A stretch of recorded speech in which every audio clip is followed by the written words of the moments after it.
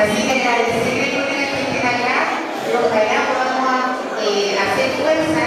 y estar por lo menos toda esta semana en el que lo que se nos pide. Sabemos que es uno de los paros